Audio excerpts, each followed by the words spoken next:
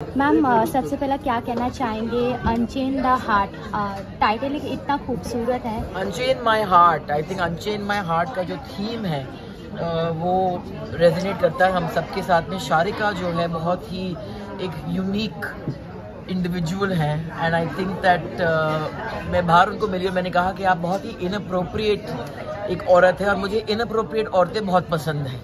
अ, जो मतलब हम हर हर हर वक्त से, से, ज़िंदगी एक यू you नो know, एक एक सहमे तरीके से जीते हैं जो they the ones who always toe the line जो रूल्स ब्रेक नहीं करते हैं वो कहीं ना कहीं मेरे दिल तक वो अपना एक मार्क नहीं छोड़ते हैं। तो I think Sharika breaks all the rules अपने खुद के दिल को फॉलो करती है। एंड आई थिंक ये जो किताब है वो उसके दिल से ही आया है and that's why I am here just to support I think हम औरतों को एक दूसरे को सपोर्ट करना बहुत ज़रूरी है। यस मैम मैम इस इवेंट का सबसे बेसिक फैक्टर यही रहा वुमेन एम्पावरमेंट और आज एक मतलब एक न्यूज़ ज़्यादातर फैल रही है रश्मिका मंदनन का इन अप्रोप्रिएट वीडियो वायरल हो रहा है। जी आप तो क्या होता है ना आप ऐसे Yes. माहौल में एक आउट ऑफ़ कॉन्टेक्ट अगर सवाल मुझे पूछेंगे जो वीडियो मैंने देखा नहीं है तो I think it's very unfair क्योंकि आप मुझे कैमरा पे ब्रीफ करके मेरा रिएक्शन नहीं ले सकते हैं ना?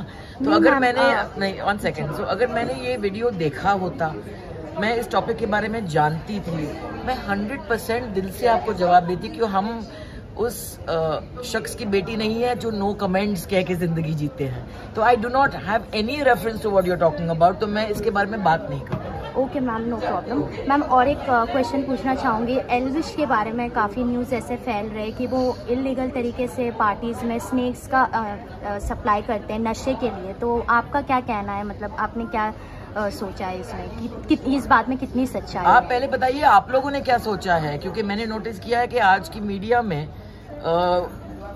जज lawyer everything is in the media before it even goes anywhere तो I would just say that time जो है is the best answer of all these uncomfortable questions और uh, बुरे वक्त जो होते हैं सपोजिटली बुरे वक्त जैसे मैंने पहले भी कहा हमें बहुत कुछ दे के जाता है हमें बहुत कुछ सिखाता है।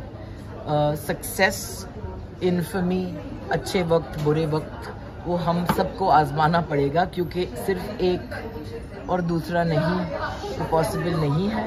वही लोग जो, और वही मीडिया जो आपको चढ़ाती है बहुत ऊपर, वही लोग और वही मीडिया आपको गिराती भी है बहुत जल्द। तो बैलेंस रखना बहुत ज़रूरी है।